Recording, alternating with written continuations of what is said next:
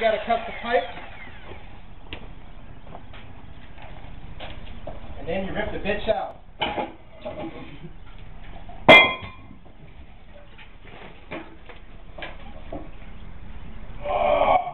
Of course, it's a two-man job. and what we have left is a big black hole.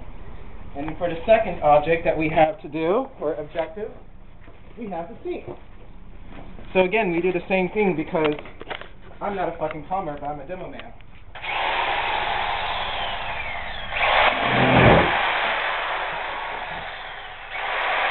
Oh, I've always wanted to do this since I was a kid. And you just rip the thing out.